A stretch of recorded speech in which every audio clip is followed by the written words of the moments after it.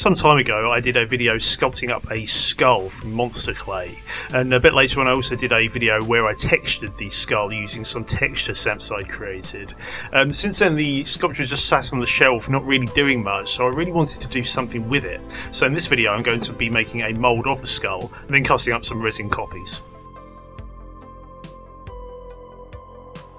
The weather's got a little cold at the time doing this, so I've actually brought all of the uh, stuff I need into the house this time. The temperature can have an effect on the way that silicon resin cures, and so for that reason I'm going to be doing the mould inside the house. It's just best to do it at a room temperature if you can. Obviously, pouring silicone all over the floor or over the work surface probably isn't a great idea, so I've taped down some tinfoil here just to try and protect things.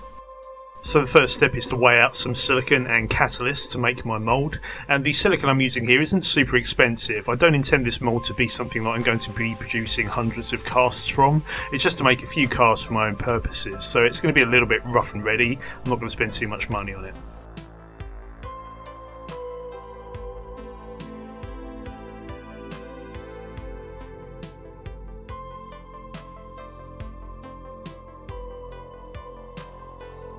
So I'm mixing my catalyst and silicon together and I'm being careful here not to sort of push it over the sides of the mixing cup. I probably should have used a larger cup here really, but I really like these things. They're condiment bowls from a restaurant supplier shop and they're just really, really useful, so I tend to use them quite a lot. Um, so right, I've got that mixed up. So what I'm going to be doing here is using a method that I've used in previous videos, and that is to add a layer of silicon over the sculpture by introducing it to the top and allowing it to drip down. I'm then going to be using an airbrush to blow the silicon into the details of the sculpture. That way I don't run the risk of sort of stabbing the sculpture with a sculpting tool uh, if I were to try and move this around manually. So the trick here is to add some silicon to the top of the sculpture, let it drip down, and as you do, sort of slowly rotate the sculpture and just keep introducing the silicon back to the top to allow it to drip down again. As the silicon cures, it will slowly slow down until it gets into a position where you don't have to worry about it anymore. Now this layer of silicon is going to be the detail layer, so I'm just taking my time to make sure that I get all of the detail of the sculpture covered. What you don't want is air bubbles in cavities or details, things like that. So you just want to make sure that you accurately capture all of the detail of your sculpture in the silicon.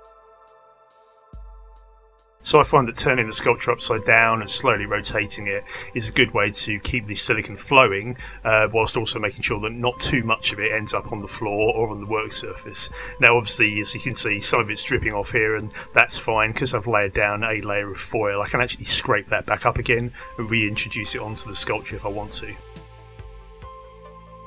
But I find it's quite a cool way of doing sort of um, simple moulds. Um, as long as you use a small amount of silicon each time, it's not too difficult to manage.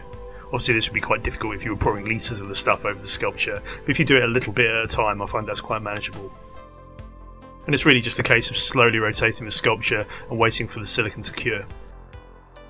Right, so my first layer of silicon has now stopped flowing, so what I can now do is mix up a second batch and introduce that as well. Now like I said, the first layer is really there to capture all the detail, so now that I've done that, the next layer is really to start bulking up the thickness. What you don't want is a layer of silicon to be too thin and for the mould to uh, deform or tear. Um, so it's good to have a decent level of thickness to the mould. So what I'm going to do here is mix up a second batch of silicon. What I'm actually going to do this time is add something called a thixotropic additive, and all that does is thicken up the silicon and make it a bit more paste-like, so that way it doesn't flow quite so quickly, and you can sort of paste it on, and it's really good for just increasing the thickness of the mould. So I'm going to paste it on with a tongue depressor here, and I'm just going to be very careful not to introduce air into cavities like the eye sockets when I push the silicon in. So a good way to do that is just to introduce the silicon quite slowly, so there's time for the air to escape from the cavity as you do it.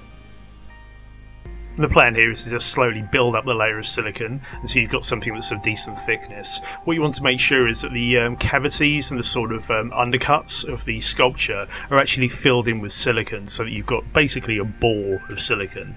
And what you don't want is things like the cheekbones sort of showing because what I'm going to be doing is adding a layer of fiberglass over this and that's to hold the silicon in shape once I remove the sculpture.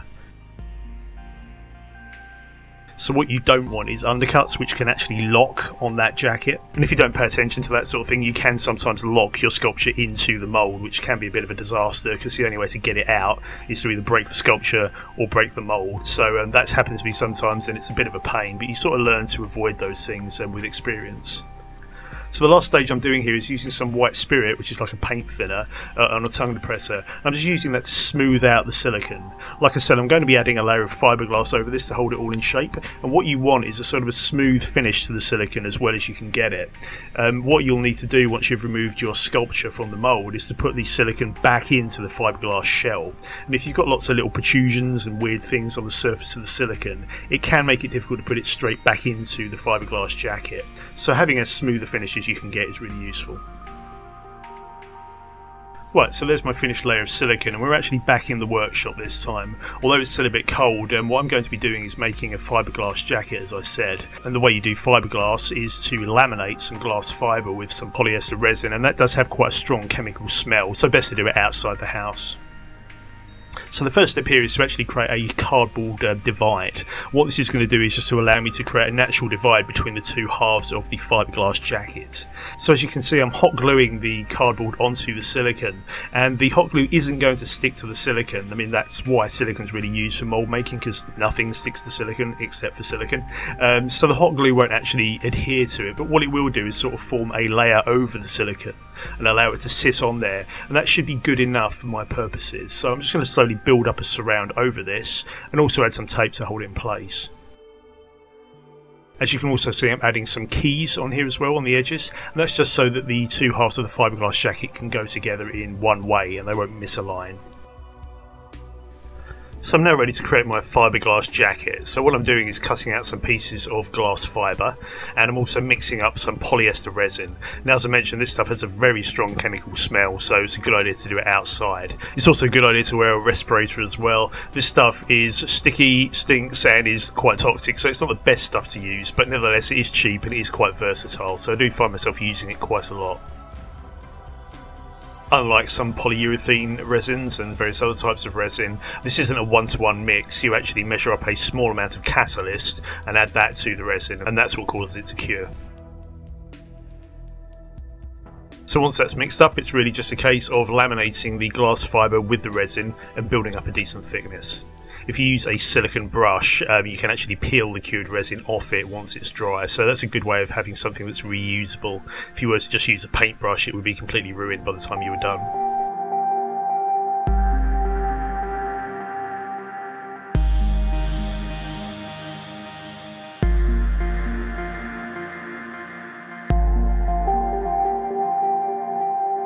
Right, so now that's cured, I can take away the cardboard and I can now do the second half of the fiberglass jacket. Now you do need to make sure that the two halves of the fiberglass don't stick together, so in order to prevent that, what I'm doing is to add a layer of Vaseline as a separating agent. Another way of doing this might be to line this side of the mould with tape, just so that the fiberglass doesn't stick to itself. So there are a number of ways of doing this.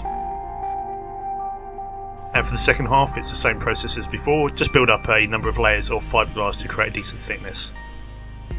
Now, as well as the polyester resin being toxic, sticky, uh, having a very strong chemical smell, the cured fiberglass is also a little bit dangerous as well. You can get some very sharp edges, and it's also a bit of a skin irritant if you uh, cut it as well. So it's it's quite nasty stuff. So what I'm doing is to give it a quick sand. That's just to get rid of any splinters and any sharp edges it's a good idea to wear gloves with this stuff because it can be quite easy to cut yourself and I, I, have done that a number of times. So it's now just a case of getting a screwdriver between the two halves of the jacket and slowly leaving them apart. This can sometimes feel like it's not going to come apart at all, but it's really just a case of slowly easing it apart, and eventually once it reaches a certain point it will just separate very easily.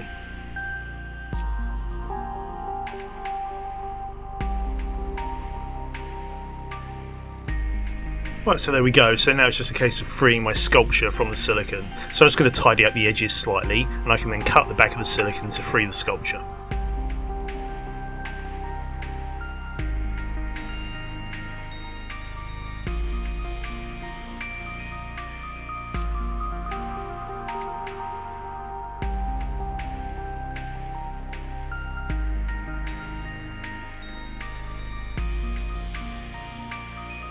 So it's now just a case of putting the silicon back into the fiberglass jacket and then I have a mould ready to use.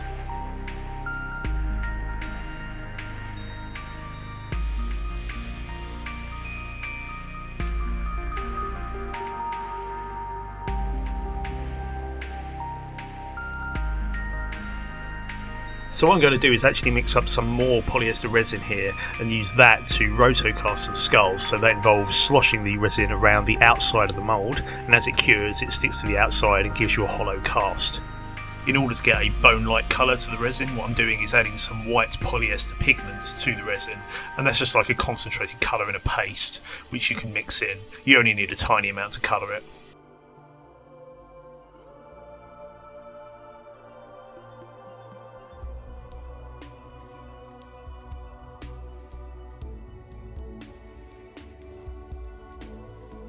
Now there are a number of polyurethane resins as well which are specifically made for this, but I've chosen polyester for a particular reason. One of the many drawbacks of it is it does cure quite brittle, and that's normally not a desirable thing, of course that's why you laminate glass fibre into it to give it some additional strength, but in this case I do want it to be brittle and I'll show you why in a sec. Now, although the polyester resin does work quite well for rotocasting, it does take ages to dry. A lot of the polyurethane resins, which are specifically intended for this purpose, sort of go off in a few minutes. But this took about 15 minutes to cure, so it did feel like I was rotating the mould for ages. But eventually it did set, so I'm now ready to freely cast from the mould. And another feature of polyester resin is also that it shrinks as it cures. So what I found was, as I was taking this out, was that it had actually come away from the edges of the mould a little.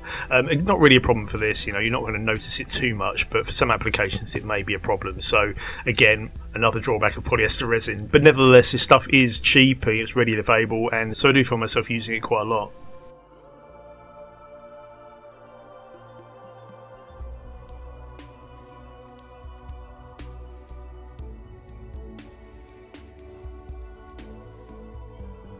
So once I had a successful cast, I started thinking about what else I could do with the mould, and of course I have had a go with some cold casting previously, and that involves pouring metal powder into resin to get a metallic sheen to your cast. So I couldn't resist doing the same with this mould. So this is a cold cast skull in brass, and obviously it looks a bit dull at the minute, but once you give it a sand down with some wire wool and a polish, you can actually get quite a nice metallic look to it. So as you can see, I'm just having to go on the polishing wheel here, and then giving it a further hand polish, and that's come out with quite a nice sheen to it. So I'm quite, I'm quite pleased with that.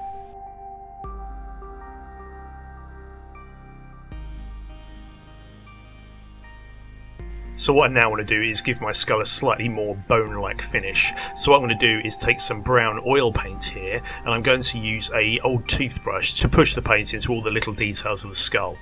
So I'm just making sure I've got this thing completely covered with uh, brown paint. I'm actually using a burnt umber here, so it's a slightly orangey sort of colour. But once I've got that all covered, I'm then going to wipe it away with a cloth, which I've got a bit of paint thinner on. And as you can see, as that goes away, the paint remains in the smaller details of the skull, and that really sort of makes all of those details stand out. So it's quite a nice, easy way of getting a decent paint finish on this quite quickly. As a final step, I'm just going to add some black into the eye sockets as well to give a bit of shading.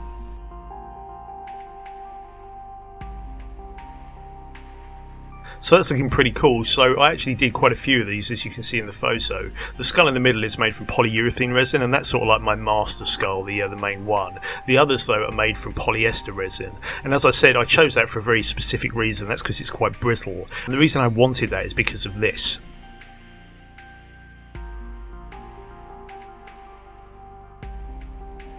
So you may be wondering why I've gone to the trouble of casting all these things up only to smash them to pieces. Well, what I actually want to do is to take some still images of the skulls, and for that I want to have some shattered skulls to create some interesting images. So I've broken two of these apart, and I'm going to cut a third one in half. And what I want to do is photograph each of these elements separately, and then composite some images together to create some interesting images.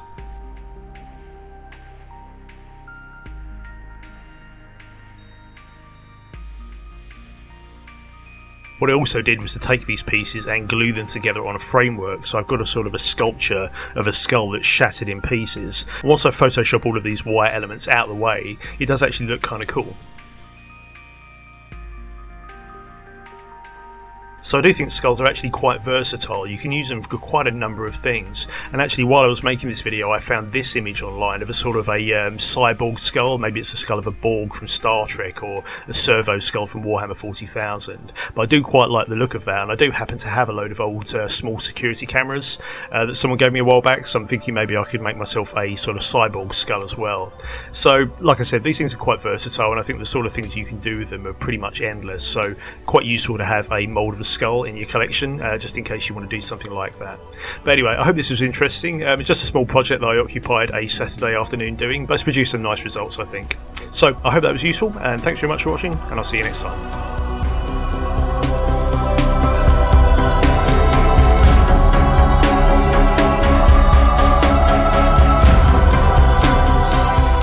Thanks very much for watching. I'll be posting videos on future projects, so if you'd like to keep up with what's going on, please do subscribe. Alternatively, you can visit my website, which is www.thedarkpower.com, or you can find me on Facebook, just search for The Dark Power.